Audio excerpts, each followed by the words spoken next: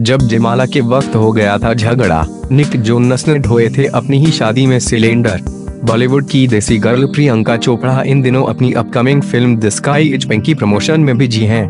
प्रियंका अपने को एक्टर्स फरहान अख्तर और रोहित सराफ के साथ अलग अलग शो पर जाकर फ़िल्म को प्रमोट करने में लगी हुई है हाल ही में प्रियंका कॉमेडी किंग कपिल शर्मा के शो में पहुँची, जहाँ उन्होंने न सिर्फ़ अपनी फ़िल्म को प्रमोट किया, बल्कि अपनी शादी और पति निक से जुड़ी कुछ बातें भी शेयर की। दरअसल, कपिल ने प्रियंका से निक को लेकर सवाल पूछे।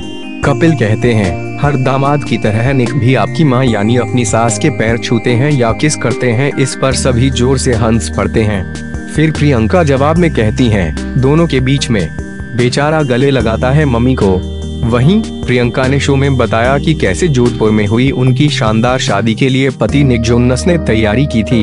उन्होंने बताया, निक और उनका परिवार शादी की तैयारियों में हाथ बटाने के लिए 10 दिन पहले भारत आ गए थे। यहाँ तक कि निक ने तो शादी में गैस सिलेंडर उठाने का काम भी किया था।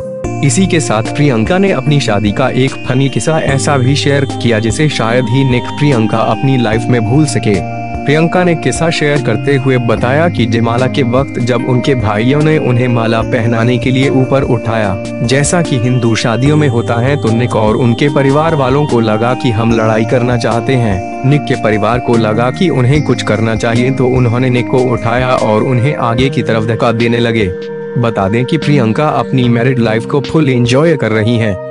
उन्हें अक्सर अपनी फैमिली यानी निक ब्रदर्स के साथ पार्टी एंजॉय करते देखा जाता है। बात अगर प्रियंका की जेठानी सोफी टर्नर की करें तो उनके साथ भी प्रियंका की अच्छी बॉन्डिंग है।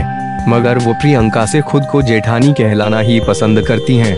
जी हाँ प्रियंका ने इस बारे में बताते हुए कहा कि मेरी जेठानी सोफी खुद को जेठानी, बड़ी भाभी कहती है। वह कहती है, आपको मेरी बात सुनी होगी, क्योंकि मैं जेठानी हूँ। गौरतलब है कि प्रियंका ने की शादी पिछले साल दिसंबर में हुई थी, जिसके बाद गर्मियों में जो और सोफी की शादी रखी गई थी, जिसमें पूरा जोनास परिवार जुटा हुआ था। दोनों ने फ्रांस में एक निजी समारोह में शादी की थी। प्रियंका छत्तीस साल की है सोफी तेईस साल की है। हालाँकि प्रियंका के पति निक सत्ताईस साल के हैं।